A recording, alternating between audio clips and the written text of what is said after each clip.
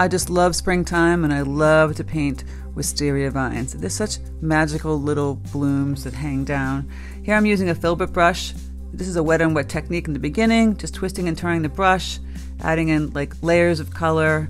The bottom layer will be more atmospheric, kind of, you know, with the wet on wet, and then keep going on top layer after layer with different tones of purples, pinks, blues, some deep blues and purples.